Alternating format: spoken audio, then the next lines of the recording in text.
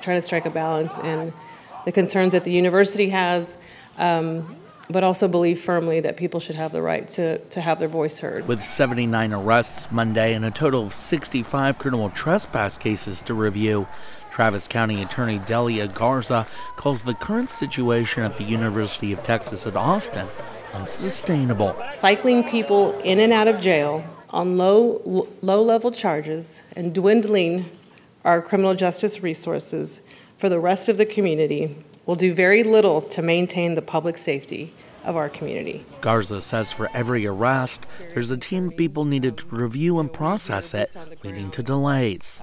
The Travis County Sheriff's Office says the arrests have doubled their average daily intake of 80 at the jail, though most of the strain is seen downtown at Central Booking. In a statement from TCSO, a spokesperson says in part, Central Booking is very busy, but situations like these are not unprecedented.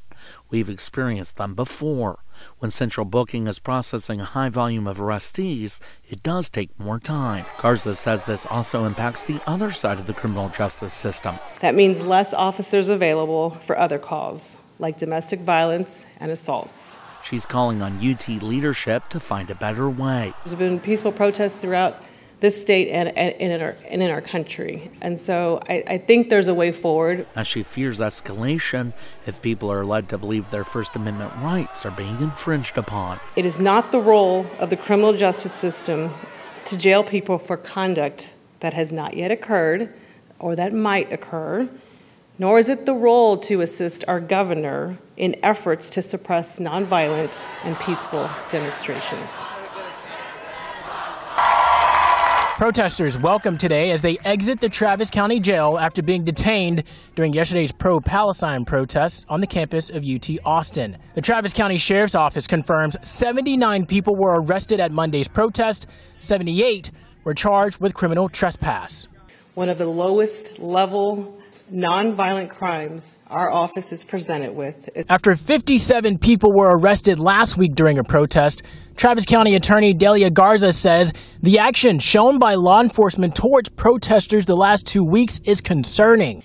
It is not the role of the criminal justice system to jail people for conduct that has not yet occurred or that might occur, nor is it the role to assist our governor in efforts to suppress nonviolent and peaceful demonstrations. I think what we're seeing is that the government is practicing pretty blatant viewpoint discrimination. Kara Achar, the engagement coordinator for free speech with the ACLU of Texas, says students have a right to protest on campus.